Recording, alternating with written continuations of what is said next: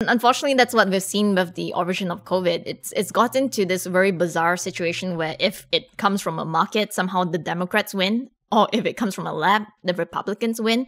But the truth of the matter is like if we don't find the origins, like we all lose together. Hello, Jon Perry here. It is January 1st, 2022. Welcome back. My guest today is Dr. Alina Chan. She has agreed to come back on to respond to some of the questions and concerns that my viewers had last time she was on. Dr. Chan has been very vocal about the possibility that COVID 19 might have jumped from animals to humans through an accident at a medical research lab. I do recommend you listen to our first video if you haven't seen that yet. But just a little bit of background before she comes on. At the start of the pandemic, various lab leak hypotheses were talked about in the media as if they were fringe conspiracy theories believed only by extreme right wing Christians and Republicans.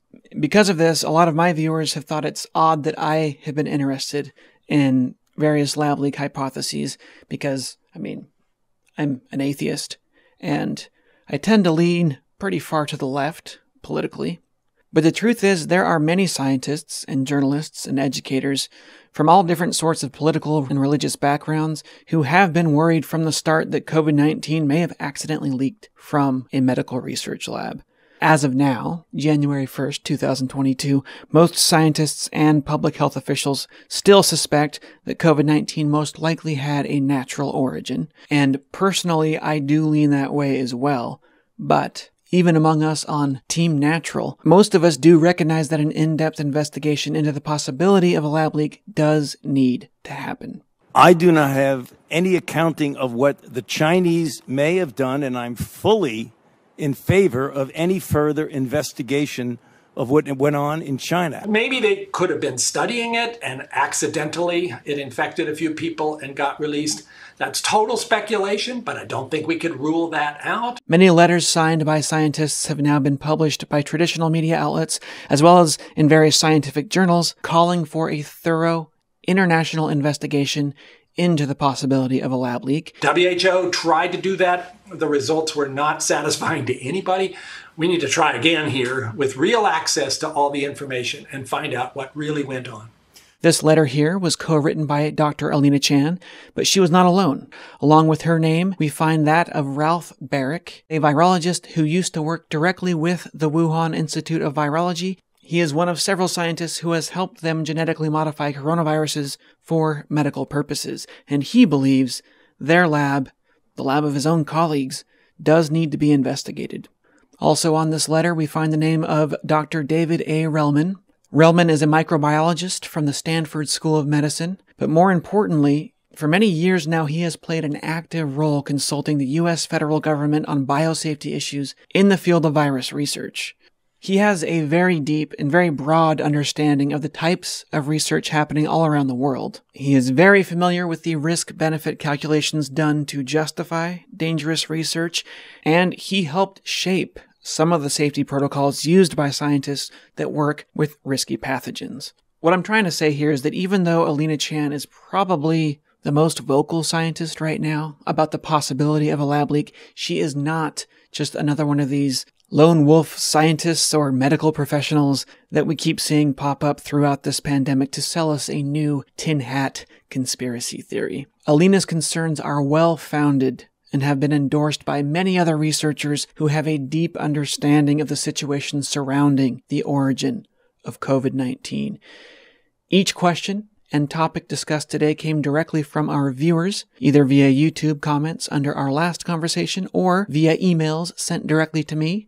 Sadly, we did not have enough time to cover every single question, but the, the things we covered were really interesting, and I had a lot of fun with this conversation. We start by addressing a question asked by YouTube commenter Stefan. Why does it, the origin of COVID 19, matter right now? And as you'll see, Stefan's concern seems to be shared by Francis Collins, the former director of the National Institutes of Health. Longtime followers of mine will know that even though Alina and I disagree with his statement on this particular topic, I do have great respect for that man, and I was I was really sad to see him retire. Alina and I saved all the juicy clickbait for the end of our conversation. There we talk about the reported rise in racism against people of Asian descent, and we discuss the co-author of Alina's book, Matt Ridley. He's a guy who some of my viewers really don't seem to like. So, without further ado, here is my conversation with Dr. Alina Chan. Thank you for sharing your time. I, I don't know how you're doing all this and your job. It's crazy. I just work extra hard and then pass out. um, yeah, I've, I've, tried to say no to as many interviews as possible, but I, I value this one because the audience cool. is different. Yeah. So I, yeah. I like it a lot that you are you're a scientist, like you're scientifically trained, and your audience is very science interested. Um, and that's why we're getting all these really interesting comments, right? I feel like it's more of a deep dive than I usually get with the more uh, basic, like first time interviews. Cool. Yeah. Great. You said you wanted to start by talking about Francis Collins, his retirement. For those who don't know, Francis Collins is uh, was the director of the National Institutes of Health in the USA. Francis Collins just retired, and you wanted to talk about something that he said when he went on Fox News, right? He said that the lab leak was a distraction. He was trying to talk about Omicron. Yeah. And he kept getting interrupted to talk about the lab leak. Let's just take a look at the clip. Well, Brett, I'm really sorry that the lab leak has become such a distraction for so many people because, frankly, we still don't know. There is no evidence really to say. Most of the scientific community, myself included, think that is a possibility, but far more likely this was a natural way in which a virus left a bat, maybe traveled through some other species and got to humans, and there was no lab leak involved. We won't know unless China decides to open up about this, which they have not done, and yeah. shame on them for that. Yeah, I, I think that there are enough scientists in this world that both important questions can be addressed at the same time. And that's actually what we saw China doing in the early days of the COVID 19 outbreak. Uh, the reason for having to urgently identify the source of the origin uh, of the of the pandemic is so that you can shut down these sources of the virus, right? Because pandemics and outbreaks grow in exponential manner. So you can be doing your best efforts to put out the fire as it grows exponentially, but if you don't turn off the, the faucet where, where the water is pouring out, where this virus is spilling over or, or leaking from a lab, let's say, just more and more of it will come out. And that's why both need to be addressed at the same time.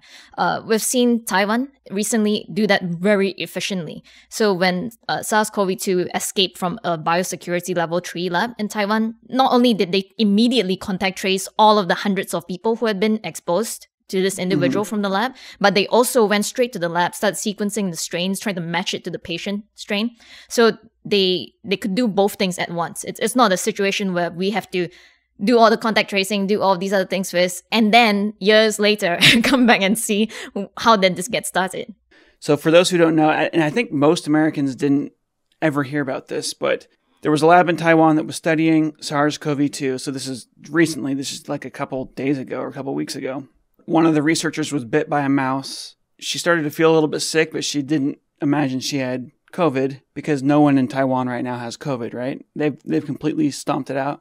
Yes, Taiwan is actually a zero COVID country, so they, they have extremely few cases. Before this uh, scientist was found to have caught COVID, uh, there had been a span of some 35 days with zero new COVID cases in Taiwan.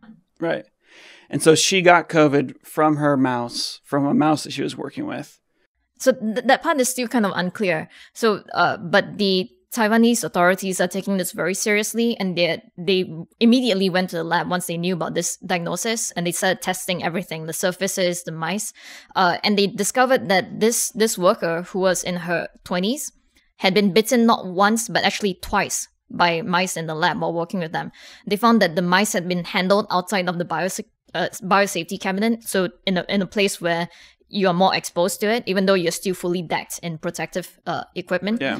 Uh, they found that there was a virus contaminating door handles and tables in the BSL-3 facility. Uh, they found that uh, it's possible that because the worker took her mask off first before the rest of her outfit, she might have contaminated herself that yeah. way.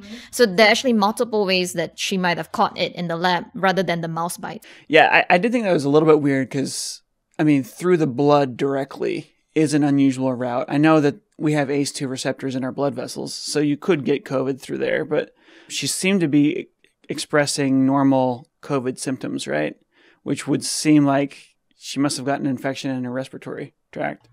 It's it's difficult to know because uh, the way that some some scientists have done experiments uh, inoculating animals with uh, with SARS viruses is that in some in some cases they even do an inoculation into the brain so they inject it into the brain of the animal and yet the highest titers are still found in the lungs afterwards yeah. So it it's unclear uh, how many different ways it could get into your body but it still manifests in the same symptoms. And the surprising thing was that this worker had been fully vaccinated with moderna. So she she I can understand why she wouldn't think that she had COVID even when she developed a fever and she was going about town for more than a week uh, without testing because she had been fully vaccinated. Uh, she had been told by a supervisor that it was fine, that that, there's, I, that it was unlikely for her to get infected with COVID in the lab because of her status, and she was young as well. So, but eventually, when she lost her sense of smell and taste, that's when she was like, "Yeah, I should probably go get tested, Oh, right?" no. So then she went and got tested, and by then she had been in the community there to uh, test like hun- more than hundred people and put them put a lot of them into quarantine. Okay. So did do we know if she spread it to anyone else? So far, it doesn't seem like it. So it's quite lucky that she didn't. Oh man, that that really is a scary story, and the, I mean, it, it does highlight, of course, the possibility of a lab leak, right? I mean, it's, it's just an, one one other little bit of circumstantial evidence. Again, very circumstantial evidence. This is a totally different incident, but The thing with Taiwan is that it's a zero COVID country, so it's it's fairly straightforward when a scientist gets infected with Yeah. SARS-CoV-2 that you're like, yeah, maybe it's, it's from the lab. But in places like the US, even though there are probably dozens of labs working with SARS-CoV-2 samples or virus, there's no way to really know whether the scientist got infected in the lab or in the streets, like through exposure to people. You're saying that they were able to do contact tracing. They were able to stomp it out. It, was, it looks like they've stomped it out. Yeah. So the it looks like it probably never even went to anyone. Yeah. And if even if it did, they've quarantined everyone that she was in contact with and the people that they were in contact with. Yeah. They- They're taking this very seriously. Well, even that, if she had gotten on a plane, it would be impossible to to to track that. You know, it's a really good example of how how easy it is to spread a virus. That had actually happened with the first SARS virus. So it had been studied at a BSL-4, the highest biosecurity level lab uh, in Taiwan as well. And this researcher had been infected and then went on an international trip to Singapore to attend a conference.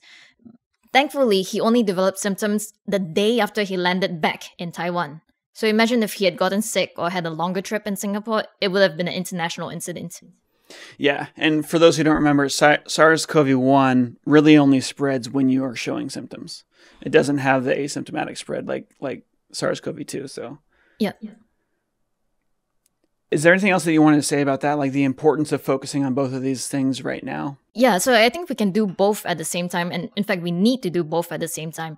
Um, I also want to press the point that this pandemic, we will never finish. we will never finish with COVID nineteen. Like there will always be COVID nineteen around the world, ongoing somewhere, especially in underprivileged places and developing countries. So pandemics also have a uh, disproportionate effect on places where it's difficult to get healthcare difficult to get access to vaccines to diagnosis so we we will never run out of new variants you know what i mean like today it's the omicron like next week who knows what it will be like we're gonna start naming variants after like constellations so it uh there will never be a day when people are like okay we're done and now we can go look at the origins so Yeah. uh, yeah, it, it's very problematic, and that's why I think we really have to prevent future pandemics, future loss of life, future burdens on developing countries by stopping these pandemics as they happen, like at, at, on day one. So Yeah. knowing how they happen and stopping those processes from from leading to future pandemics. I know that a lot of people are mad at Francis Collins and uh, Anthony Fauci. Be- well, for one reason, they they were classically in favor of gain of function research. I think, like as we dig into the origin stuff, I'm sure there's going to be a big trial in the U.S. and there's going to it's probably going to be on TV and it's going to be a big huge deal. All the things that they said in the past about gain of function research and virology is going to get brought up, and people are going to want to hate them. But Francis Collins has done an excellent job. He's been on the wrong side of some arguments, but he's done an excellent job. His comment the other day when he was saying that as he was leaving that this is a distraction. His job is not to accuse China of crimes against humanity. like that's ever since the start of this pandemic, the the healthcare officials in the United States have been very careful in their comments to the public not to say anything that would offend people in China. And some people are saying, well, they're just being weak. They should just confront this. But what they have to do behind the scenes is they have to work with people in China to try and get as much information as they can. So it never made sense for them to attack. You know, we have we do have politicians that you could say it is their job to do this. Tom Cotton bringing to the public's attention that this pandemic might be a result of a lab accident. And he was doing that from the very start, and he was being very harsh with China. And I think that division of labor makes sense because we, you don't need every healthcare official to be burning bridges with their colleagues in China. Just uh, for, for proof of this, there was, what is the guy's name? He was the CDC director underneath Trump. Robert Redfield? Robert Redfield, when he left, he said, Now that I'm a civilian, it's okay for me to have an opinion about this. Here is Dr. Robert Redfield when he sat down with Sanjay Gupta. I am of the point of view that I still think the most likely uh, etiology of this pathogen in Wuhan was from a laboratory um, you know, escaped. That's my own view. It's an only opinion. I'm allowed to have opinions now. Other people don't believe that. That's fine. Science will eventually figure it out. It's not unusual for respiratory pathogens that are being worked on in a laboratory to infect a laboratory worker.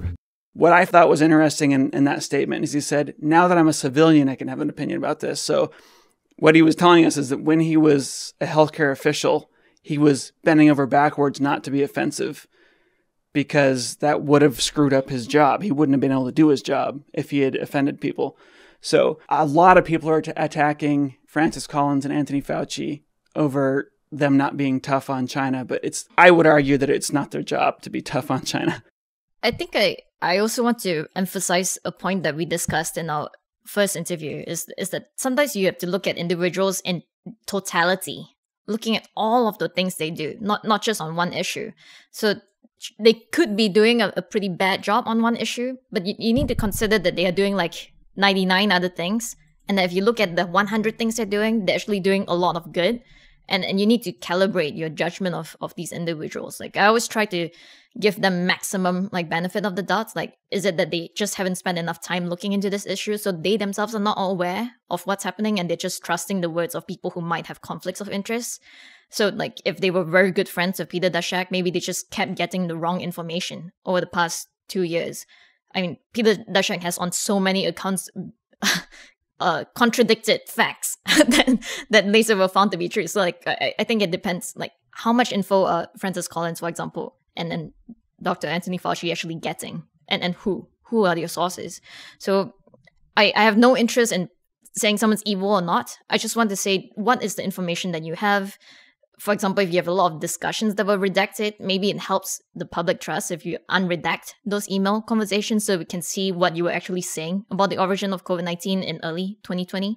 One of the things that I think we're seeing here too is a difference in how, well, we're kind of seeing an old school version of public health communication that no longer works in the internet era. It used to be that you would figure out what you think is best and then act as if you have absolute confidence in that and go talk to the, the public in that way. And that would be reassuring to people. People want a strong leader, you know. Nowadays, that doesn't work because we have so much communication and access to information that you can tell when someone's pretending to be confident about something. And that's I think that's a big thing that changed, and I don't think that we've really adjusted in, in how we speak publicly yet. And I don't even know how we adjust because everything's complicated and new. This is one of the things that I, I see so many people getting really angry at them and saying, oh, they failed this and that. But we're dealing with all of this for the first time, and they're dealing with the power of the internet really in full force for the first time, and how that changes how communication should be done. I mean, pr- pretty much everything they learned about PR is wrong now. Es- especially for situations where the science is still emerging, where the science is Yeah. still being performed, still being conducted. So how can you be confident when you don't know? So I, I- almost feel that, at least for me as a scientist, if I don't know, even if it's a very basic fact, I'll just say right now I can't remember. I'll tell you later when I Google it. Right, Rather than forcing something that trying to force myself to have a best guess and getting it wrong. I think the future will be a lot more transparent because of this. I think everyone's taken note of this. One of the things that that's would have been nice too is if we had more people that were the representatives or if we cycled through people. I think it's so hard to be right all the time and it's and what happens is you can be right 99% of the time and be doing good 99% of the time, but those that 1% where you keep screwing up every once in a while, that builds up. People remember that. They don't remember all the times you were right. And so yeah. it's so easy to build massive enemies. The other thing right now in the United States, we have the, the politicians, the, the president is liberal. A lot of the political power is liberal right now.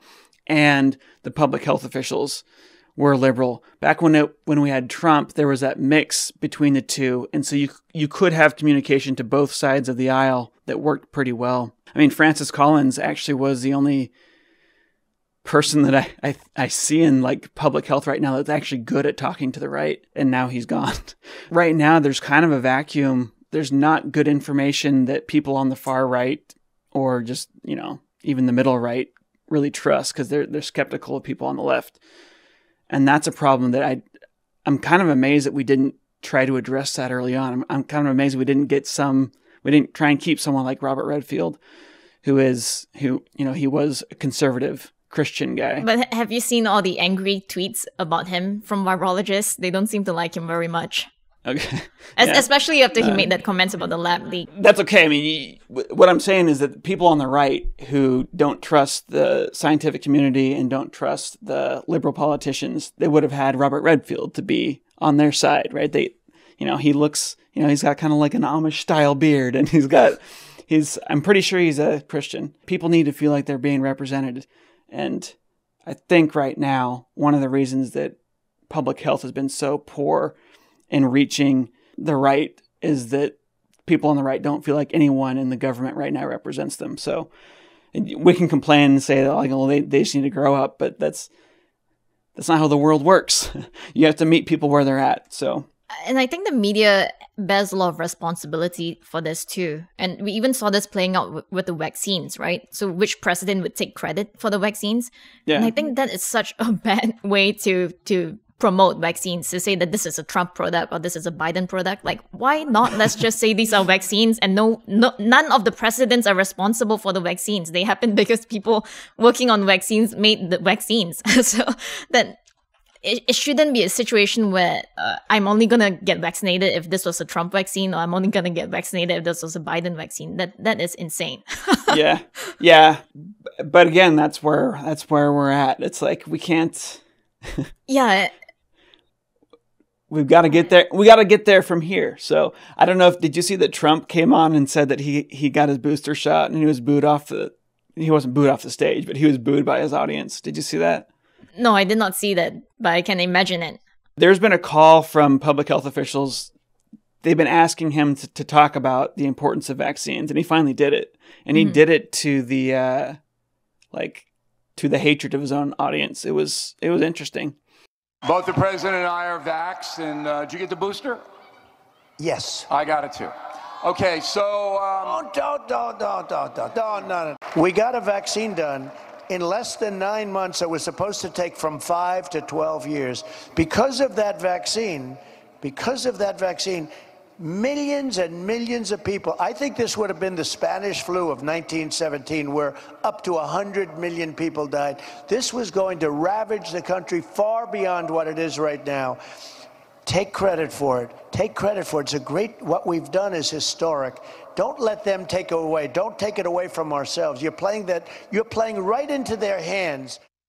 whatever happens politically, it, it's very secondary to me. The main goal is to get more people to be vaccinated. Yeah. Right. So like, the point is not to have a whole faction of the country saying that I'm not going to be vaccinated because this is a democratic product. Right, right, right. Um, and, and unfortunately, that's what we've seen with the origin of COVID. It's it's gotten to this very bizarre situation where if it comes from a market, somehow the Democrats win, or if it comes from a lab, the Republicans win. Yeah. But the truth of the matter is, like, if we don't find the origins, like, we all lose together. Not not even as just Americans alone, but everyone around the world loses together. Yeah, yeah, because we can't turn off this faucet, as you were saying. I do want to talk about Omicron really quickly and vaccines because I think you would probably Yeah. know, know understand this a lot better than than I would. A lot of people are upset with the, because the vaccines aren't aren't working so well against Omicron, and so they're they're saying, well, then what was the point of any of this? What is your response to that? I, I think that, that there's responsibility on both sides. And unfortunately, some people had marketed the vaccines as a way to uh, have sterilizing immunity. So, by that word, I mean once you get vaccinated, you'll never get COVID 19 again in your life, that kind of sterilizing immunity. But in reality, because this virus went on to infect like 300 million people, inevitably more and more variants evolved and some of these evolved in immunocompromised people for example or, or just through passing through areas where there was already a lot of pre-existing infection so some of these variants can get around human immune responses to the original version of sars-cov-2 so what we're seeing is that some of these new variants can reinfect people who have been infected before or it can even infect people who have been fully vaccinated with the vaccine that's designed based on the original SARS-CoV-2 virus. So now there's a lot of talk in the scientific community about how we should update our vaccines because one advantage of the uh, mRNA vaccine is that you can quickly update them, quickly uh, like it is like updating your your Mac system, right? so every every few months you can update a new version. So why not design vaccines where people are being inoculated with the spikes from Omicron, Delta, Alpha, maybe all at once in a cocktail?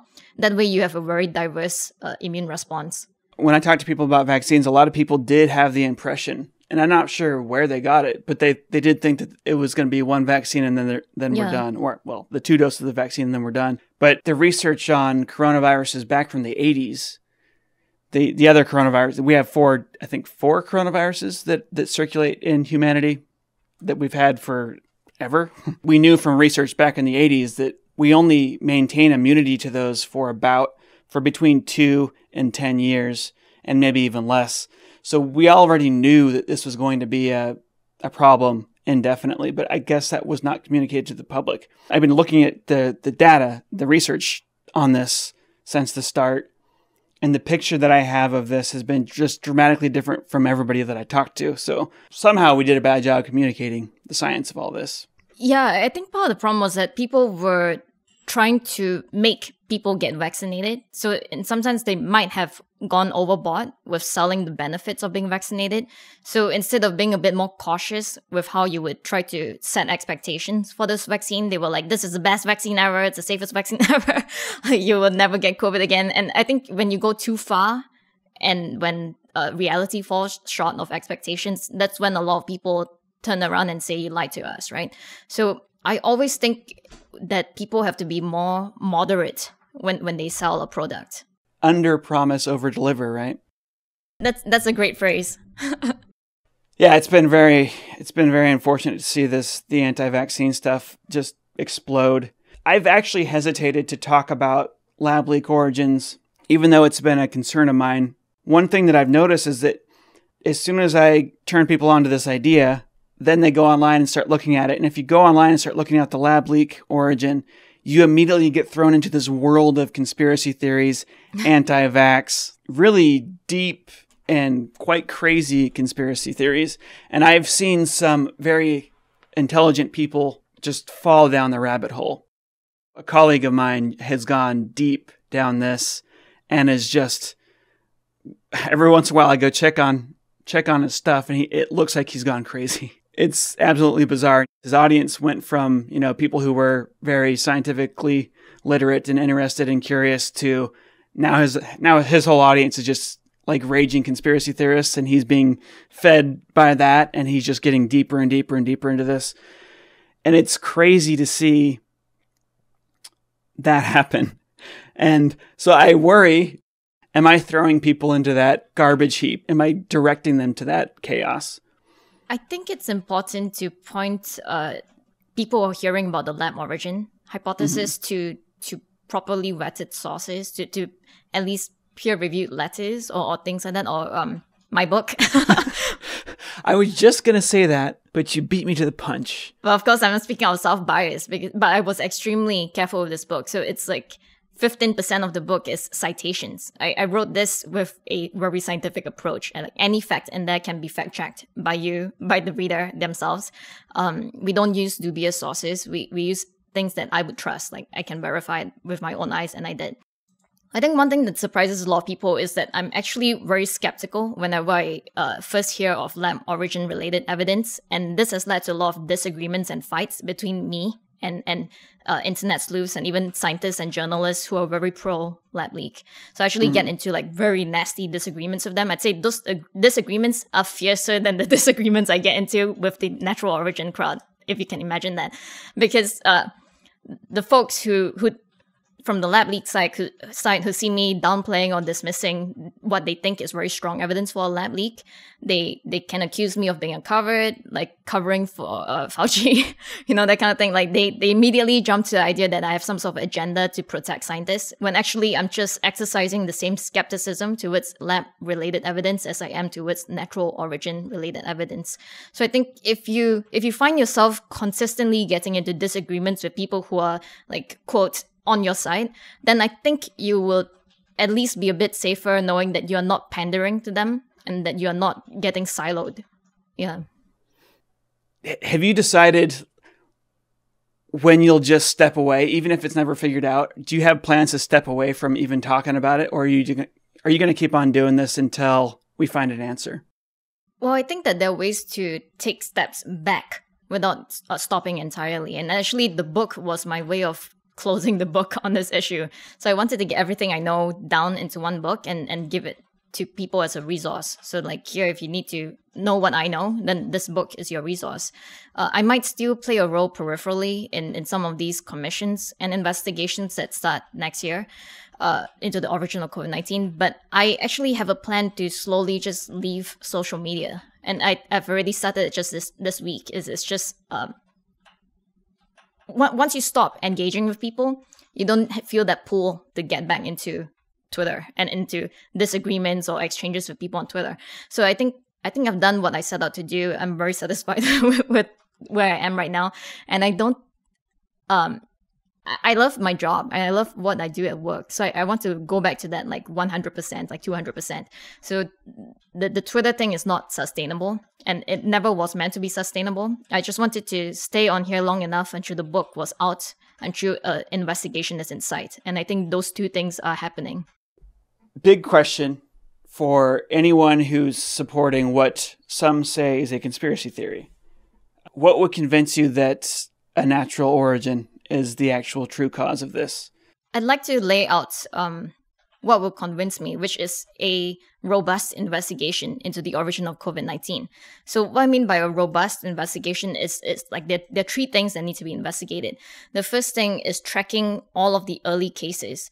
So, China has told us that they failed to identify any case before December 2019, which I find very surprising because they have the best expertise in the entire world for tracking novel coronavirus outbreaks in that city, in Wuhan. And yet it's telling us that in this city where almost everything is monitored, you, you, everyone has an ID, you've got your top SARS experts there, you could not even trace back from from hundreds of cases in December to any cases in November. That's very shocking to me. Um, because without this data, without knowing who the first cases were, how do you know what their exposures were? How do you find the source of this virus? So that that investigation is very important to me. It has to happen in order for like specific this positive evidence to be found surrounding the origin of COVID-19. So the second prong is an investigation into natural origins.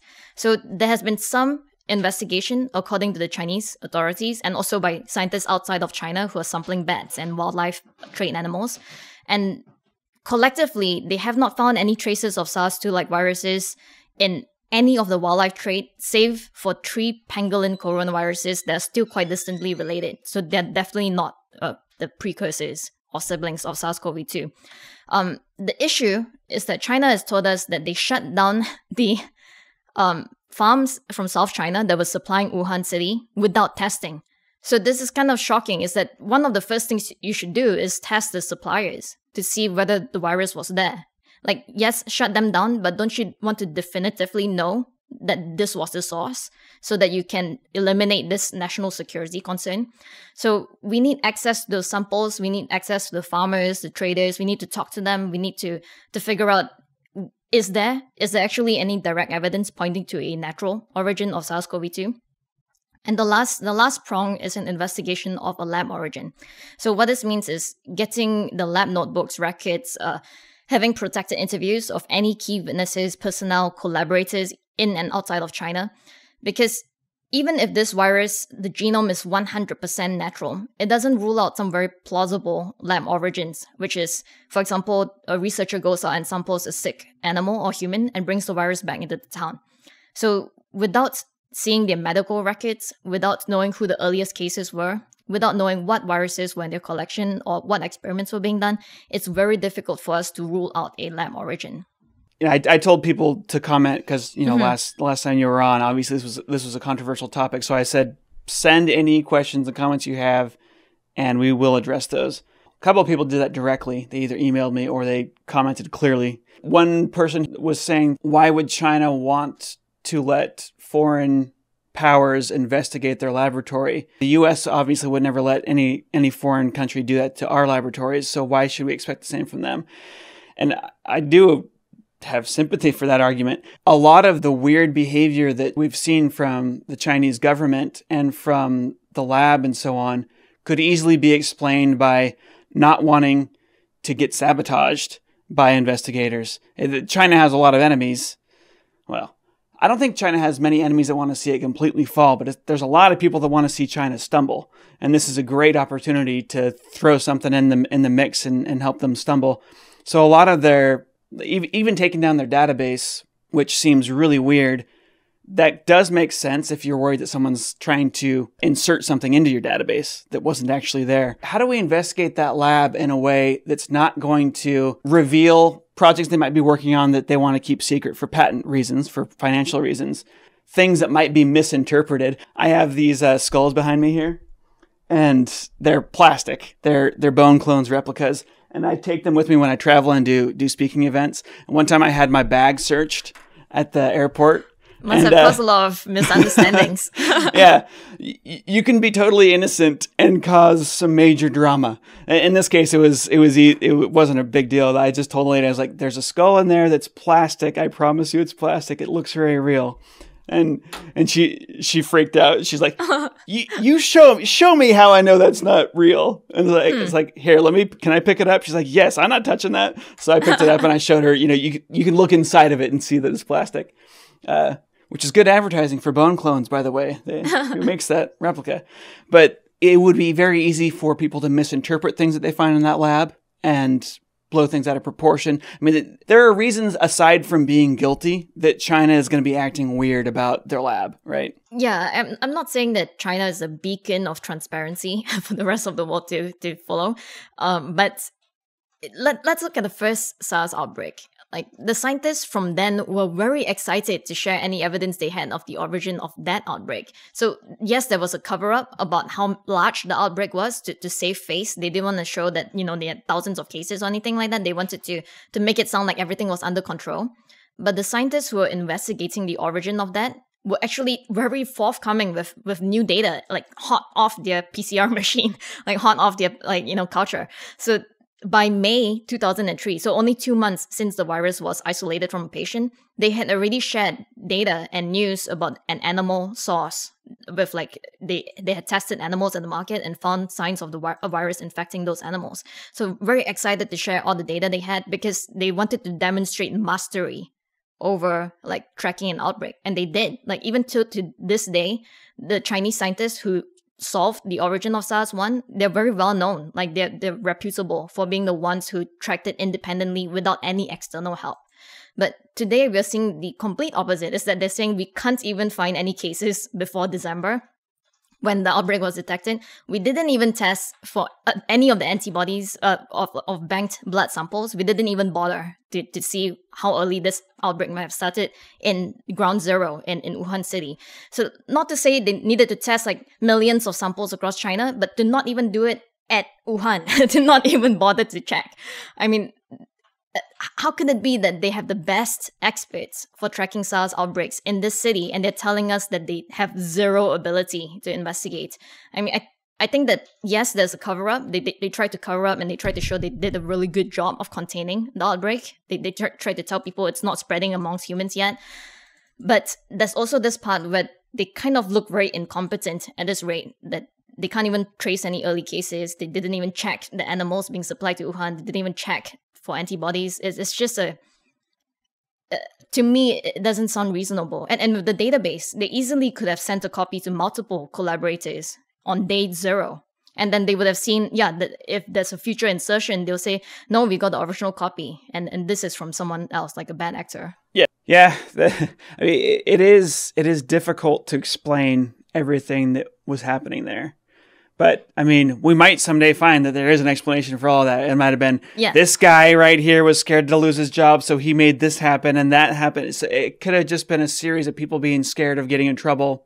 I mean, for me, there was a huge change in approach. So we knew mm-hmm. that, you know, in the early week of, of this outbreak, it, it seemed like they truly were convinced that it came from the market, not just the local CDC, even the Beijing CDC flew yeah. in to sample that market.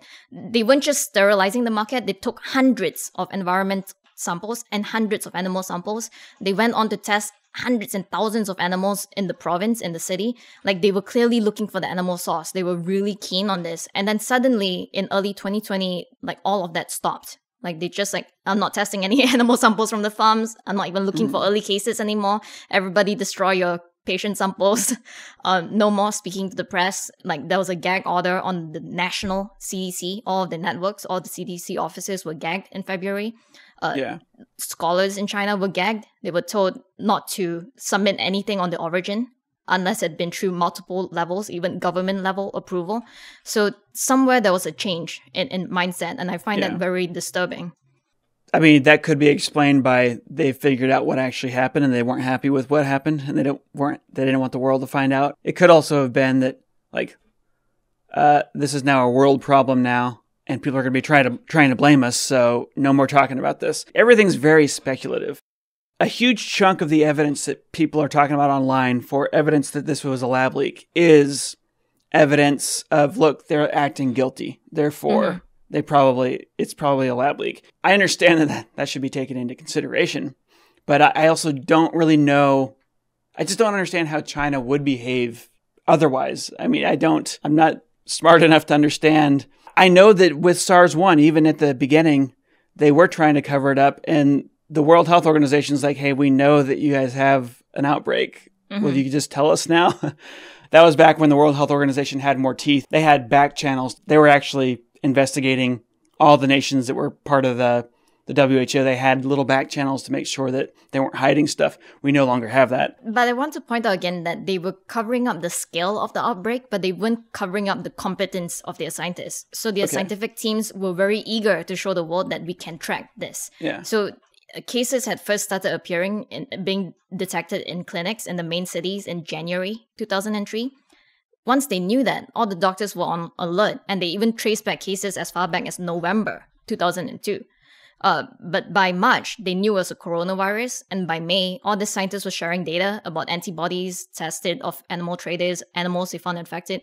So even though the, the scale of the outbreak was being hidden, and, and your patients were being hidden in elevators, being driven around the city in ambulances where the WHO was uh, visiting, but the scientists themselves were very interested to show the world we're, we're awesome at this. we know how to track the virus. But here in this case, China is trying to show the world did a really good job containing the outbreak. They even have a whole museum and exhibit set up in Wuhan precisely about this. But they are making their scientists look extremely incompetent. Like so incompetent that they don't test for antibodies. They don't test. Uh, they don't look for early cases. Uh, that they don't even test the animals being sent to the city. Like it's just, uh, it's just a picture of of very. well, I'd say it's a pattern of magnis- magnificent disinterest in this national security concern. So it's like this this Yeah. killer virus has emerged. We're doing nothing, none of the basic things to, to track its origin. So you would be convinced if we had this three prong investigation. So track early Mm-hmm. cases, get all that data public, uh, look for something in the wild. What if what if uh, the wild search research only found something? Like, what would that convince you alone? Without investigating the early cases and without investigating the lab, Yeah, it would depend on the type of evidence. Like, what is it? Because it's been two years since this Yeah. outbreak started. So if if in the first month or first few months of the outbreak they had found the animal host, then then sure, everything's great. But two years later, how did they find that animal host? Because by now, like all the evidence is gone, and that's why this this comes back to the first part of our discussion is that there's a time limit for investigating the origins. It's not something mm-hmm. where we can say let's let's take the first five years of a pandemic to stop cases, and then after that go back and look for clues about the origin. It's it's too late. what you talked about last week, we actually do have data from emails and conversations and Outside of China, there are other ways to, to look into this as well. My bias is leaning towards I really hope this is wild. That this doesn't start a big conflict between China and the United States and it doesn't cause a big conflict between US researchers and Chinese researchers. yeah. Oh, I mean, I. I, I have that bias too. I know this sounds surprising, but I, I have that bias too. I don't want scientists to get in trouble. But my way of thinking is that if scientists are not the ones taking the initiative to investigate a lab origin, then who will? Right. So it, I'd rather that scientists are part of the investigation than we just sit this one out. Because Oh, absolutely. Uh, I, I care that we find the truth, but I, I think I think I will be easier to convince than you because uh, because you prob- want it to be true. Yeah, yeah, yeah. So Well, I mean, I, I I would say this as I've been in science for many years, and, and that's one of the worst things that can happen to a scientist is that you Yeah. want something to be true so much, and I've seen this happen to even top scientists that they are willing to overlook negative data, they're willing to cherry pick data, and that that is very extremely dangerous. So, Yeah. not just for science, but all the people implicated affected by this and in the same group the people who try to reproduce that work and find that there's a whole bunch of negative data missing. So deep down in my core as a scientist i absolutely reject that. People people cherry picking data or being lenient with themselves. I always find that we have we have to be the most critical of our own favorite hypothesis because if you don't you will you will roll you will avalanche into into misconduct or into scientific disinformation Yeah, one of the, there was a there was a saying that I, I think I emailed this to you. Um, it was it's about confirmation bias. yeah And I don't remember who said this, but someone said uh, the best antidote to confirmation bias is to argue with people who have different confirmation bias. Yeah, uh, yeah. Who have conflicting confirmation bias, and uh, I, I I feel yeah that's what we do in science. I mean, it's this how how this project works. I think that the public in general has a bias towards a lab leak. It's really hard for us not to want to blame someone for a catastrophe.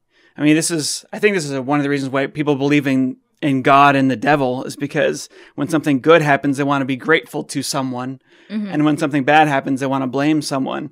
Well, I think one way to counter that sensationalism around this topic is to let scientists on this topic from each side talk to each other more often in public, Right. directly, mm-hmm. live events. So this way, you remove any curtain of conspiracy and any sense of censorship or anything. If you if you let them talk directly to each other, and I'm not saying that uh, this needs to happen for like scientific issues that are already set in stone. But even even then, it might help if you see people talking about vaccines in the in the context of autism and things like that. If we can have more of these public events where people are talking directly to each other, that removes this these silos on Facebook or other social media where, where people are just listening to their own collective bunch of experts. So I was really happy in September of this year when I was invited to be part of a four person panel by the Triple AS, the Science magazine, Yeah, that was great. Yeah, yeah, I love that. Uh, they put me and, and Jesse Bloom on, on the more agnostic slash lab lab leak side. Uh, versus uh, Lin Fa Wang uh, from Singapore and Michael Worobey from Arizona, who are who are much more on the natural origin side. So we we directly debated each other, directly discussed what is it that we know and don't know, what needs to be investigated. And I thought that meeting was extremely constructive and very civil. Yeah, me too. Yeah. Unfortunately, on Twitter, it's it's a complete like shit show. but when you're directly speaking to someone, you're much more civil. You you can be tough on them, but you, you're less likely to start uh, hurling insults at each other. Twitter does that. Twitter, early on in my Twitter adventures, I got into a Twitter fight with a guy, Perry Marshall. and then and then I invited him to come on my show and we had a, a just fine conversation. I feel like a lot of nuance and and important information and questions are lost when experts don't directly talk to each other. So actually, I'm very interested in being invited to to more interviews where, for example, I can talk to the authors of the proximal origin uh, yeah. letter, the Nature Medicine, who set the tone for this discussion in early 2020, or to discussions, uh, interviews where the World Health Organization new investigative team, the, the SAGO team, any of their members are brought in to, to just bounce ideas and see like what what is it that makes them think a natural origin is more likely and how would they investigate it and, and or how should they investigate lab origin so i'm very interested in these more constructive uh, interviews yeah you were on there with michael Worobey Am I mm-hmm. saying his name right? I, I think so. and he wrote a letter with you in mm-hmm. support mm-hmm. of. Well, this this was in the early days when the the lab leak hypothesis was demonized by pretty much everyone in the scientific community, and well, especially. I shouldn't say in the scientific community because I had I was talking to lots of people and they're like, no, the lab lab leak is definitely possible but not publicly. Since the start, yeah, they, yeah, they weren't publicly saying that. And in the news, it was no, this is uh, this is definitely a conspiracy theory. But he wrote a letter with you, and mm-hmm. you also had uh, Ralph Baric. Yes, Ralph Baric was on there, and he's the one who runs the lab in North Carolina, right? Yes. And he collaborated with uh, Dr. Shi Zhengli from the Wuhan Institute of Virology and Peter Daszak from the EcoHealth Alliance. That was pretty nuts that he got on there and he, he wrote this letter saying, no, we need to investigate a lab leak hypothesis. Yes, he had actually been saying that since even early 2020, but it was in an Italian documentary where he was quoted. And so not many people watched that documentary. He said whether or not this virus was genetically engineered, it's only in the records of this lab at Wuhan. Yeah. That letter, I'm going to be showing it on screen here for everyone to see. Mm-hmm it's very important, I think, that people read that. There's some really good messaging in there. You guys worded that beautifully. Michael Michael Worobey now regrets. He doesn't. I don't know if he regrets having signed that, but he regrets the the backlash that it had. We went from the lab leak being demonized in the media mm-hmm. to right after that was published, the, the lab leak was then considered the most likely probability. And actually, this happened again with your testimony last week, I saw it was one of the British journals is saying lab leak is now the most likely hypothesis. Oh, was it the Daily Mail? yeah, yeah, I think it's the Daily Mail. Yeah. Yeah, I mean, I, I, I really wish that the news organizations would report the context of that quote. Yeah. So I had been asked alongside uh, my co-author Matt Ridley, as well as the Lancet's chief editor uh, Richard Horton, to each give a number a probability estimate of each origin hypothesis. And you refused. We all collectively refused, but but Richard Horton said that he he favored the World Health Organization stance, which was a lab origin was extremely unlikely. Mm-hmm. But I offered my judgment, which was that I, actually lean towards a lab origin. But there's no evidence right now. There's no specific evidence that can confirm or rule out any of these hypotheses. So throughout the meeting, I kept enforcing that we need an investigation. I even pressed the Lancet and other uh, journals to release all of the original manuscripts that had been sent to them uh, from China yeah. by scientists describing the early days. We need to take a look at what's in there. We know that manuscripts were withdrawn. Yeah. Like after gag orders went down. So we, we need to know what journals had in their hands in the early days of the pandemic. Yeah, I think that's that's a really good strategy. I don't know if it would be wise to declassify all of that right off the bat. Mm-hmm. But definitely people need to be looking at that. I mean, that's a huge source of fresh information especially for people who are like intelligence agencies and so on that that can look at stuff before they want to release it to the public. Because what I mean, one of the really nasty things about this whole situation is that anytime information gets out into the public, you get immediate explosion of in the media. Yeah. Them picking sides. You get these conspiracy theories that explode. I I just really struggle with the ethics of confidential information. I mean, if you keep things classified for a while, even just for temporarily, there's a bunch of eyes that don't get to see it that could help link something that's important. But if you do declassify stuff right away, then you have this other problem where everyone goes crazy. so I, I don't know what to do with this. It's it's a it's pretty it's a complicated puzzle. Well, that's why I think it's so important to have these commissions and investigative teams set up ASAP because yeah. they should be the ones previewing uh, these uh, new documents and things that may or may not deserve to be put out publicly, just in case they cause harm to individuals. So once you have these commissions, then then it's not a matter of am I exposing these individuals to attacks, but more of the information can actually be expertly reviewed and assessed yeah. first. Um, and that's why the, these commissions should have people from both sides of the issue or people as centrist as possible, uh, as much balance as possible in this team, so that uh, people who each side trust can be there to review this evidence. I think that that's key. Like having people fr- that represent many different views, many different mm-hmm. fields of research, intelligence agencies, scientists. Yeah. Even get people like Tom Cotton in there. Let everybody in on this, but maybe don't give it to the whole world all at once. Yeah. Declassify yeah. things slowly. But I don't. But but it is a mess. It, it's very complicated. And do we want to treat everyone like babies? Uh, I. It's it's a hard question. I want to make sure that we get specifically to some questions that were well written by YouTube user Rational Mind. That's, that's his that's his uh, YouTube handle. He gave six questions. I, there was three of them that I thought were most important, but I think you wanted to just address all six of them, right? Yeah, if we have time. So here is what Rational Mind wrote. His first comment Alina talks about the proximal origins article in Nature Medicine saying, quote, the assumptions they make don't rule out a lab origin at all, so just because they wouldn't personally design a virus this way doesn't mean that this couldn't have leaked from a lab by accident. Couldn't have been the natural virus collected, brought to a lab, grown, and leaked. At no point does the proximal origin article discuss the scenario of a natural virus brought to a lab and leaked shortly thereafter, so that's true, but feels like a bit of a straw man of their article. They never argue along the lines of, quote, we wouldn't have designed a virus this way, so therefore it wasn't designed, end quote. They mostly argue that the properties of the virus appear more indicative of a natural process than a deliberate engineering. The closest they came to Alina's description was in the section about mutations in the RBD, that's the spike protein's binding region. There, they basically argued that the RBD wasn't optimal for binding human ACE2 and conclude this is strong evidence that SARS CoV 2 is not the product of purposeful manipulation. End quote. It seems quite clear to me from context that when they say purposeful manipulation, they're referring to manipulation with the deliberate attempt at engineering a bioweapon targeting humans, but I agree the language is fairly vague in this regard. I wonder if the language made more sense at the time when the most prominent lab scenario being circulated was one of a bioweapon rather than an accidental release of a pathogen of unknown virulence.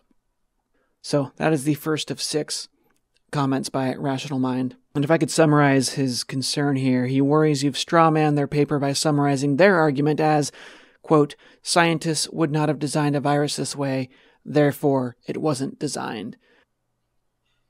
Proximal origins. Their letter was worded in such a way that a lot of readers, including experts, including journalists and science communicators, took away an overly simplified message when people read this paper, the language was so vague that they left thinking that this virus must be natural in origin. The reason for that is because there's some quotes in this proximal origin letter that are very, I'd say, assertive. so yeah. they say, since we observed all notable SARS-2 features, including the optimized RBD and polybasic cleavage sites in related coronaviruses in nature, we do not believe that any type of laboratory-based scenario is plausible with the accompanying press from Scripps, where the lead author is from. The title was The COVID 19 Coronavirus Epidemic Has a Natural Origin, scientists say. And uh, the author was quoted as saying, We can firmly determine that SARS CoV 2 originated through natural processes. And then later, the lead author was interviewed and and the news article was published in a very reputable site, uh, the CIDRAP site. So it's a Center for Infectious Diseases, calling the lab release of a natural virus a conspiracy theory. Yeah. So this article said that even a natural virus leaking from a lab is a conspiracy theory. And the lead author of Proximal Origin told the, the reporter, the new coronavirus clearly originated in nature, no question about it now. So if you look at all of this collectively, what was happening in early 2020 with this letter is that they were telling people that they have no doubt that this virus was natural. And interviews surrounding it all said that scientists say that this virus is natural.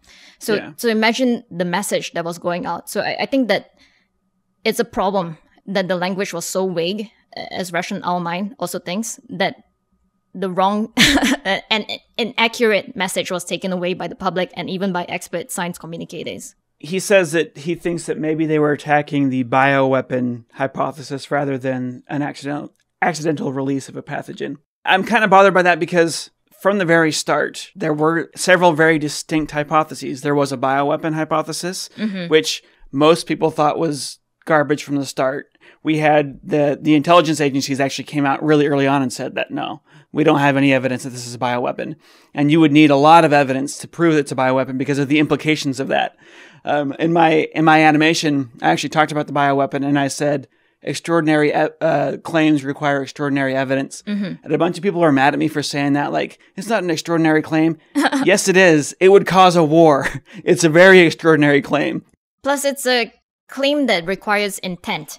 So Yes. you need to, to find the intent. You need to prove the intent. Whereas Yeah. an accidental lab release or just, just ignoring the, the intent, just a lab origin, has a much lower burden of proof because you don't have to say what was the scientist thinking at the time when the when the virus escaped.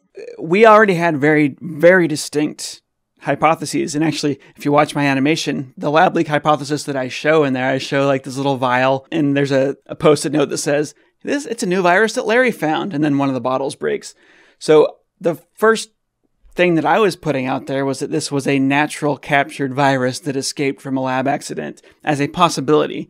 The, the conversations happening in the public were covering all of these different possibilities. Even Tom Cotton, the bioweapon issue, I think it got blown up. I think it was a straw man. Yeah, I mean, and, and some very prominent news organizations were doing this too, which is very surprising because you'd expect them to be a bit more rigorous in their fact checking, to actually watch Tom Cotton's interviews and hear what he's saying. But unfortunately, I think in America especially, but actually worldwide, like people tend to not even care what the person is saying anymore. They just take what they see someone else reporting and recycle it into the news, which is not great. And even as scientists, this is the one thing you should never do, which is just copy citations from other papers. Like you need to go back to the original source, read that paper first, and then cite it. The first time that I read it, the Proximal Origins paper, that actually calmed me down. When I reread it, I'm like, oh yeah, this is pretty misleading. Next, Rationale Mind talks about the diffuse grant. Mm-hmm. I'm going to be showing his comments on screen right now, so we can just summarize them. Yeah. Well, he's arguing that the proposal, the diffuse proposal, said this cleavage site insertion would be happening at UNC, where Ralph Barrick is based. Yeah. So the proposal said that this engineering of SARS-like viruses would happen in North Carolina, not in Wuhan City. But my response to that is that this grant involved an international team of scientists. But amongst all of these scientists, the only ones who had access to the raw sequencing data, the actual sequencing data where they could detect these novel cleavage sites, and also had the technology to insert these cleavage sites into SARS-like viruses, and had the idea to do this and the funding. This lab was very well funded. Was the WIV. This this is the only partner out of this entire collaboration that had access to the sequencing data. So this is what sets them apart from Ralph Barrick, who did not have access to the sequencing data. And these labs were also extremely well funded, like just rolling in the millions every year. that even if they didn't get this DARPA grant, like easily elsewhere, the Chinese government is showering them with, with money. So I also hesitate to speculate too much. I'd say that what is clear that we need to do now is to get Eco Health Alliance to release all emails, documents, data, and exchanges relating to this type of work. So who proposed the idea? That's the main thing, right? So if Wuhan scientists proposed the idea, then I think we, we're pretty good here. so we, we know that they already had the idea, uh, what preliminary work had been done and where. Uh, had any sequence or data even been shared? Had they seen these novel cleavage sites mm-hmm. that were proposed in the in the grant? Uh, what about after the grant was rejected? Was this idea recycled in another grant, or were there more conversations about this type of work? So yeah. all of these are knowable. Like we can literally just go to Eco Health Alliance in New York right now and say, "Can you share your emails?" So it's it's right. not something where we will never know. So a lot of people don't like your uh, unicorn analogy for various reasons. I think maybe because it sticks so well in everyone's head. So and, and unicorns that, are pretty. yeah, yeah. I, I think people have been attacking it because it is an analogy. And mm-hmm. Of course, it's easy to attack an analogy, uh, an argument by analogy, and then also because it that it captivated the media so well. Mm-hmm. And so he's saying he's saying that your unicorn argument isn't quite the smoking gun that you think it is. I don't think you've ever called it a smoking gun. No. And you've been very clear saying that all we have is circumstantial evidence. Yeah. So and it, it's a striking coincidence, but coincidences do happen. But yeah. in this case, what, what is clear is that we can investigate and we should investigate. That revelation that they had plans to add a furin cleavage site was pretty dang shocking.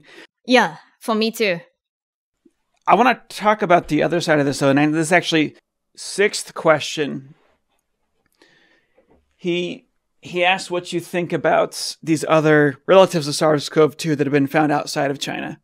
Mm-hmm. And in Laos, I think it was, we found partial sequences that look like the furin cleavage site. No, so they they didn't. Uh, I I think that is a speculation. So um, my my colleague and I, uh, Hei Chan from from Canada, and I, we mm. recently published a peer review paper explaining what exactly is it about these uh, supposed intermediate furin cleavage sites that some scientists are reporting. So they are reporting a a, a very boutique alignment of, of sequences that cannot be substantiated by by hard data, by structural data. So that when you align sequences, there are many many ways to align them. It's like solving yeah. a puzzle. Uh, until you get more evidence, un- until you get more and more robust data, you cannot say that this is the correct alignment. So you have to wait for more data to occur before you, you yell like bingo. so you can yeah. you can have one X and then you strike it and you say you got bingo. You need, you need to fill out a lot before you have a confident uh, alignment. Your paper got published, right? This one. Yeah, uh, it's in molecular biology and evolution. Yeah, it's a it's a very reputable journal in its field in evolutionary biology. Michael Worobey showed a diagram with the alignments during his debate with you this paper is a response to that. So it's not a response to Mike Worobey himself, but that there are a lot of different scientists who are proposing different alignments. And what we are saying is that none of these alignments are well substantiated by data. So I, I think what we presented was actually the most moderate and scientific view possible. Is is saying we don't have enough data yet to call it. So I, I think that that's how scientists should operate. Like not every publication should be people confidently asserting that they know something. Some some publications, some of the most important ones are those that say we don't know enough yet. But I also want to expand on this Laos thing, which is that okay. actually more emails were leaked, uh, were foiled uh, from only in October this year or even November, I think, uh, showing that the WIV, the Wuhan Institute of Virology, had started amassing thousands of samples from seven Southeast Asian countries, including Laos. They were letting uh, people from the Wuhan Institute of Virology come to collect samples or sending hundreds of these samples up into Wuhan city. So we know that they had access to these viruses that look very similar to SARS CoV 2, not just in China, but from seven Southeast Asian countries. And this started in 2016. We have no insight to what they found we have like zero insight into what they found between 2016 and 2019 when the pandemic started. So there is a lot of investigative work to be done. So we found all of these new viruses that are even closer to SARS-CoV-2 barely closer, but they are mm-hmm. a little mm-hmm. bit closer than RATG13, which was the yeah, first. There's virus. one virus. yeah. There's, there's one virus that's slightly closer than RATG13. Yeah. But what what you're saying is that that's kind of a mute point because these are these are viruses that the Wuhan Institute of Virology probably already knew about. well, they had access to that population of viruses, Yeah. and and none of these close relatives have even an intermediate furin cleavage site, so they don't even have any insertions in this area. Instead, what we're Mm. seeing is that amongst all the closest relatives to SARS-CoV-2, they're very conserved in this area. There's no insertion in this area, so that means to us that this furin cleavage site appeared in SARS-CoV-2 very recently because all of its closest family members don't even have an intermediate, don't even have an insertion in that area.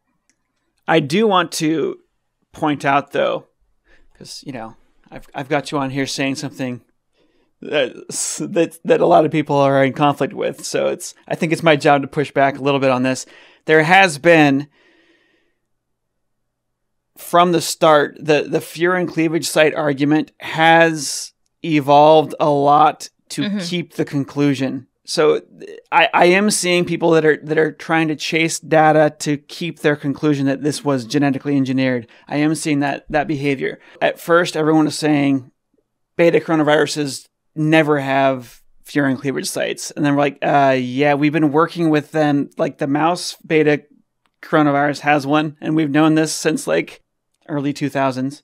For me, I'd even expressed that this the furin cleavage site, it wasn't its rareness that stuck out to me. Actually, it was the fact that it wasn't even mentioned in the Wuhan Institute of Virology's first paper. So that for me was the weird thing. And I also used a unicorn analogy. I said it was like them describing this newly found unicorn, describing everything but not the horn. Like describing the hair, describing the hooves, describing the fur and the skin, everything. And they're like, oh, we're done here.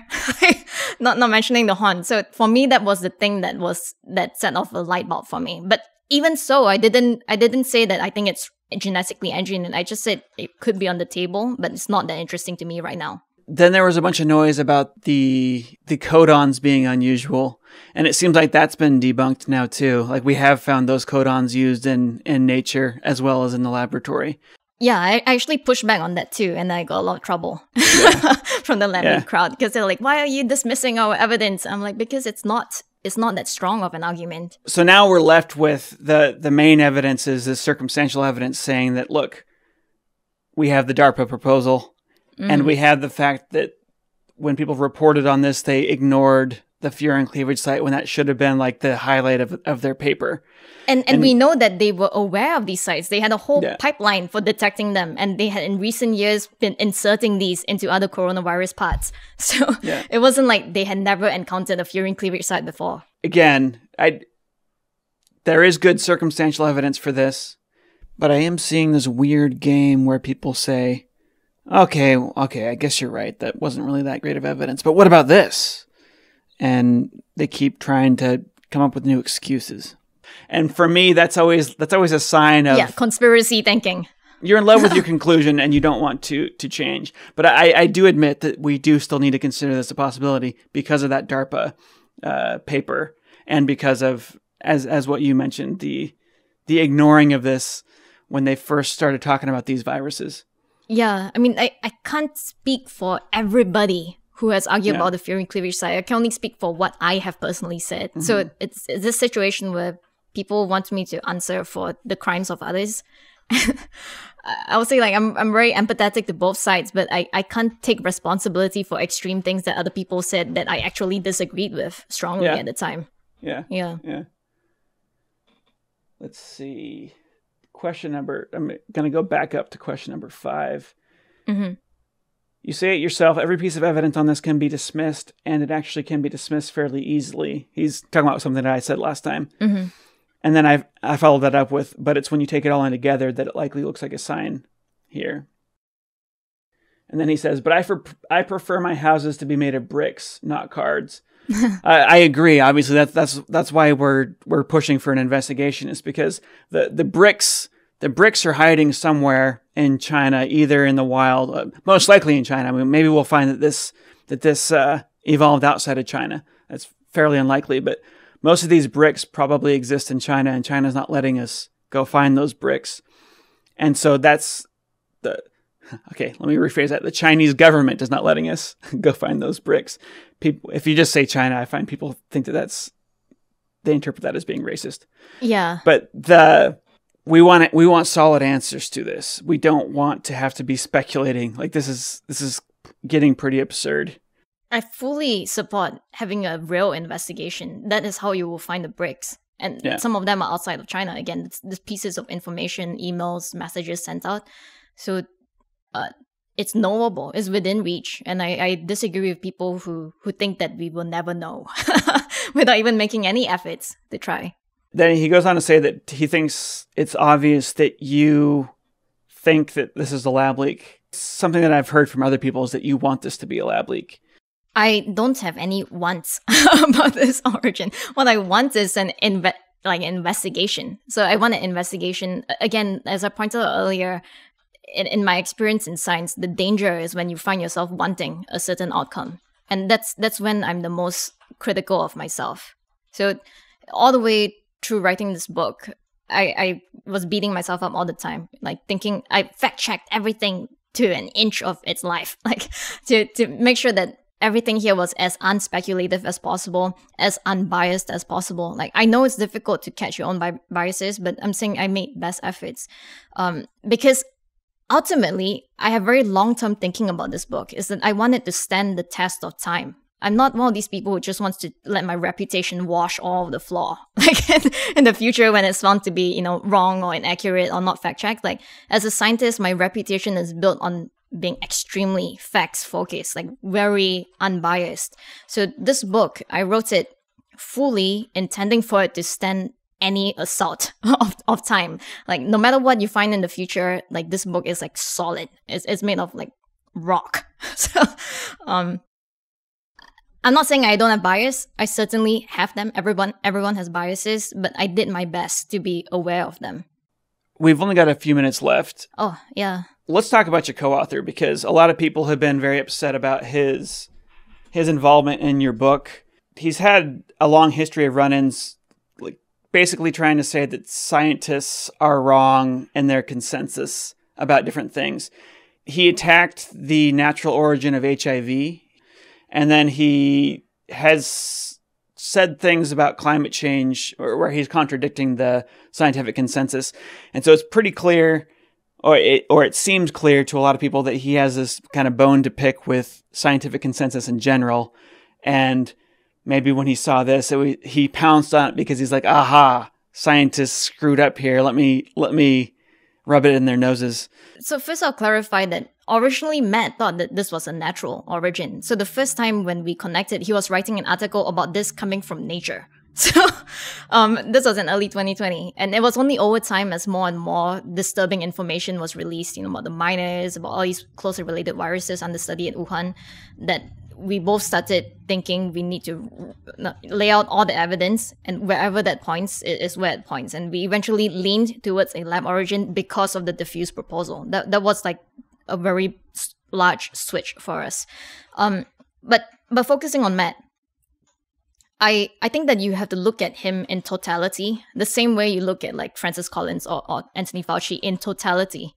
Yes, there are things that people will do wrong in their lives or, or you disagree with them strongly about, especially the older they are, the more things you will find that you disagree with them doing like 20, 30 years ago. Like we will all eventually be cancelled. So, so like don't worry. So, um I, I will eventually be found guilty of something as I reach my 50s and 70s. So when when I when he reached out to me saying, "Do you want to write this book together?" I, I did go and, and carefully review what else had, he had written, but I didn't find a deal breaker.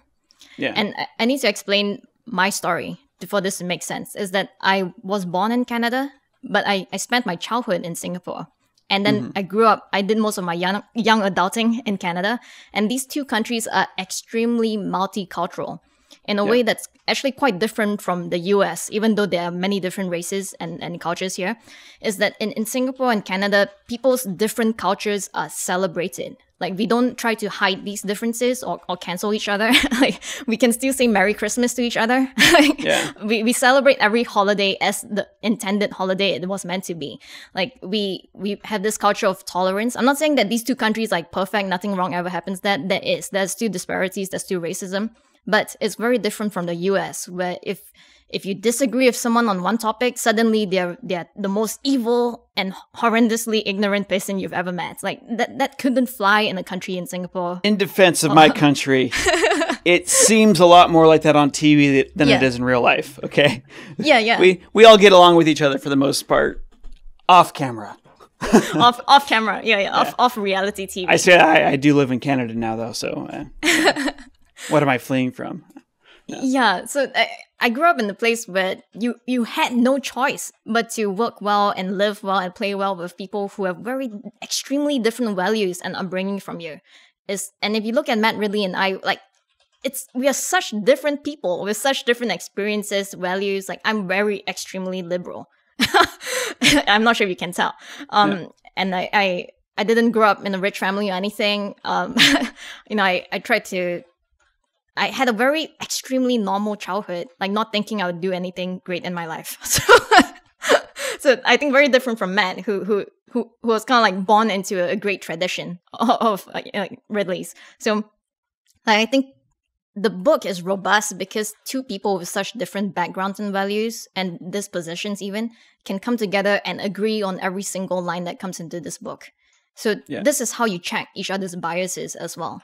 Um, I know it, it's not as robust if I wrote this book with the lead author of Proximal Origin. Maybe that would be more extremely robust, but I don't I don't see how that collaboration can happen. I did I did actually reach out at one point and said you want to co-write something and I didn't get a response. So you can see I didn't Yeah. even try. But um I, I think that people are attacking the book and they, they see that there's nothing to attack in terms of its content, so they're attacking my co-author. And like I you know, it, yes, he has a conservative network. There's nothing denying that. Like he he has a lot of friends who are conservatives. He gets invited onto conservative shows because they know him. Um, and I'd say maybe it's my fault as as the liberal person in this equation that I have no networks to like liberal news media, and they've some of them ha- have expressed fear of covering this topic because of the the prevailing perception of what the scientific consensus is. And and the idea that if this comes from a lab then the democrats have lost. Like that that's nuts. So th- there's a lot of that at play. People don't see the interviews that i am declining. So i've already had many chances to go and make this book a bestseller on some of the most extremely watched cable news or, or shows in this country in, in the in the us and i've declined them all. Because the profits of the book don't mean anything to me if the book gets denigrated by by people being used for political reasons, being called like a, a right wing book. Like this is not what I want for the book. The book is meant to be a very objective description of the search for the origin of COVID nineteen. Um, and I also want to say one thing in, in Matt Ridley's defense, though. Even though he has had some points where he clearly clashed with the scientific establishment, he actually wrote some very prominent books in science, like his book Genome. Like, it's the reason why one of my friends is a scientist today. So, a lot of people in my circle who are liberals know about these books. They read these books and they have an impact on their life, like change their lives, make them go into science. So I think we have to look at things objectively, not just going for the parts we hate most about people. Because how how can you have a functioning society or how can you be a world leader if if Yeah. people inside are tearing each other apart for the smallest things like the, just always going for the the one thing that they hate about the other person instead of all these other ways they could be working together constructively One of the things that I heard him say is actually in the in the the, the testimony that you guys gave to par it was Parliament, right? yeah the science and tech committee He mentioned that there was a bunch of stuff he kept wanting to put in the book, and you're like, no, you can't put that in there. That's not you can't back that up scientifically. And so he was yeah I, I i run a really tight ship and and you'll you'll hear that from other people i work with too is that when i send my comments or edits back to them they're like the whole thing has been rewritten. Is that like i don't i don't let a lot slide. So you're the reviewer that no one wants in their paper, huh? no no no. Actually in in peer reviews i'm extremely like not extremely nice and constructive and detailed. Like i'm not mean. I'm not mean in my edits. I'm just extremely thorough.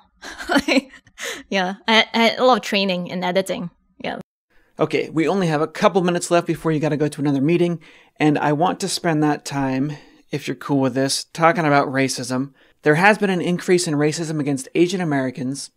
There are a lot of people who are very concerned about even talking about the lab leak hypothesis. They think that's going to cause racism.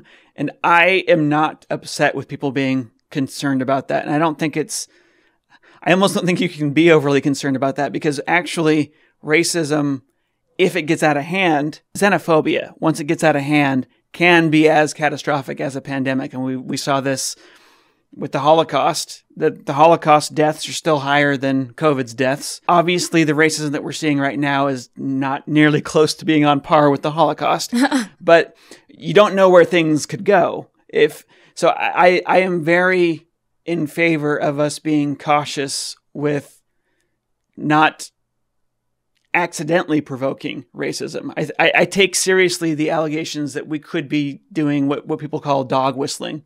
You know, like we're we're giving things to racist groups and to hate groups that they might be able to use. However, the the lab leak hypothesis, I don't even see how this could be a racist hypothesis. This is a failure of Western science if this was a lab leak. This isn't a this isn't a failure of Chinese culture. It's a failure of Western science. And actually the the meat market hypothesis, there's a lot more that if you're racist that you could blame China for. Yeah. The bat eating.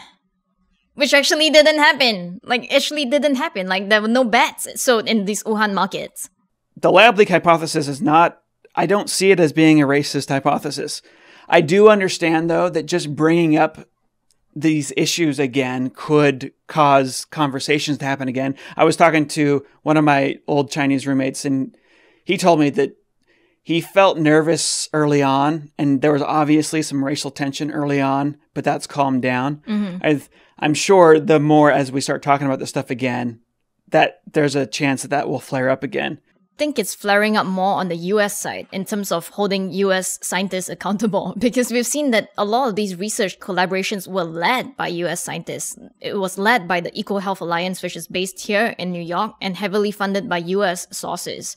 But yeah. I think it's it's it's not right to think of this in a country specific manner because frankly this type of research is happening in so many countries yeah. that, that it's, yeah. it's not like it's a, a, china thing or us thing but now it's like everybody is doing this type of research thing so it's a criticism of the safeguards that have been placed around this type of research it's not yes. a criticism of a culture um, and i think that the media could help a lot by spreading that message by yes. also highlighting the brave work of whistleblowers in China, like citizen journalists, journalists, scientists, doctors in China who gave up a lot. Some even gave their lives to report about this pandemic in the early days. Mm-hmm. And if you if you report those stories more, then you will be countering that racism because you will give people a much deeper understanding of it wasn't the culture that was at fault and actually people in that culture were so brave that despite being in a place where they could be tortured in prison disappeared for for sharing data with the world they went ahead and did it anyway so those stories need to be amped up and it's something that we've done in our book and was also in that science letter that I co-signed in May. Just just reminding people that the first people who responded were Chinese like whistleblowers and doctors. Like we we owe so much to them and we shouldn't forget their stories. Yeah. Well, thank you for coming on. This was great. I, I hope that people feel like we responded to their questions adequately. Yeah, uh, cover a material. yeah, yeah, yeah. We went we went all over the place. This was fun. Uh, I think I'm I'm gonna take a break on this subject for a while, at least yeah. at least I think until this this next wave, the Omicron wave, is done, because I actually do agree with Francis Collins that probably right now, uh, we should be focused on yeah uh, tamping down this uh, this outbreak. I actually want to recommend two people that I think would be great for you to interview for Omicron, which is probably uh, US based uh, Trevor Bedford. He's very solid on this. Trevor um, Bedford. Yeah. yeah. and also uh, he, he's based in Seattle, uh, and and and in Europe, uh, Emma Hotcroft. Cool, yeah. great. Well, thank you. I really appreciate your time, and yeah. uh, Merry Christmas. Oh yeah, Merry Christmas. I hope you get more sleep. Sorry for taking yeah. up your sleep cycle. Thank you.